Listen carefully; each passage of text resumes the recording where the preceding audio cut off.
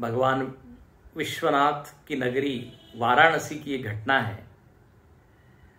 एक सन्यासी गंगा जी में स्नान करके, पवित्र होकर के विश्वनाथ जी के दर्शन के लिए जा रहे थे। घाट पर काफ़ी भीड़ थी। प्राय आपने देखा होगा, स्नान के लिए, दर्शन के लिए अनेक लोग वहाँ आते हैं। अब वो सन्यासी जब जा रहे थे उस घाट पर, उसी भीड़ में एक चांडाल था।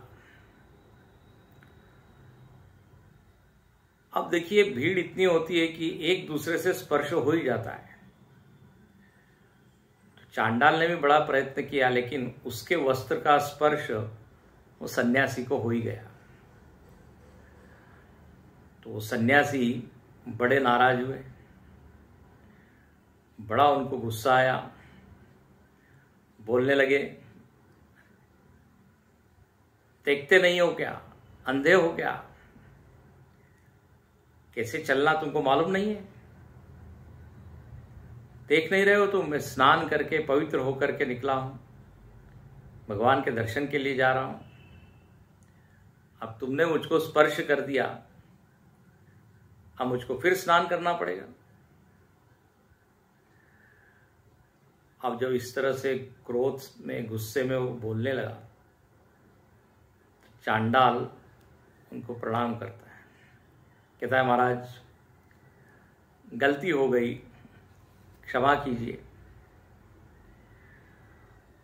और वो कहने लगा कि जहाँ तक स्नान की बात है, आप स्नान करें या न करें, मुझको तो अब स्नान करना होगा। मुझको तो स्नान करना ही पड़ेगा। सन्यासी ने यह सुना तो और नाराज़ हुआ। बोले, तुमको क्यों स्नान करना पड़ेगा? तुम कहाँ पवित्र हो गए? तो वो चांडाल कहने लगा कि सबसे अपवित्र महाचांडाल तो क्रोध है। और उसने आप में प्रवेश किया और फिर उसका स्पर्श मुझको हुआ। तो अब मैं हो गया अपवित्र। तो अब मुझको स्नान करना पड़ेगा ताकि मैं पवित्र हो जाऊँ। सन्यासी ये उत्तर सुन के आश्चर्य व्यक्त करने लगा। बोले, अरे, ये चांडाल होके बताइए कितना ज्ञानी है। इसको इन विकारों के बारे में कितना ज्ञान है? सन्यासी लज्जा से उसका सिर नीचे हो गया। और उसने कहा, तुम सही कह रहे हो। अपवित्र वस्तु तो ये क्रोध है। जब ये क्रोध मन में आता है तो देखिए, चित्त अशुद्ध हो जाता है। सुख जो है वो चला जाता है।